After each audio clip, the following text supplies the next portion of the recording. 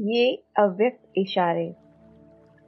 अव्यक्त साइलेंस द्वारा double light फरिश्ता स्थिति का अनुभव करो।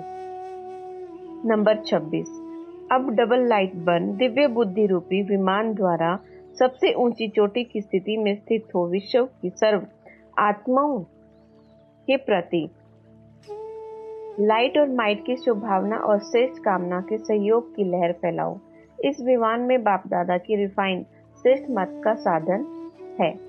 उसमें जरा भी मन मत, पर मत का किचड़ा ना हो।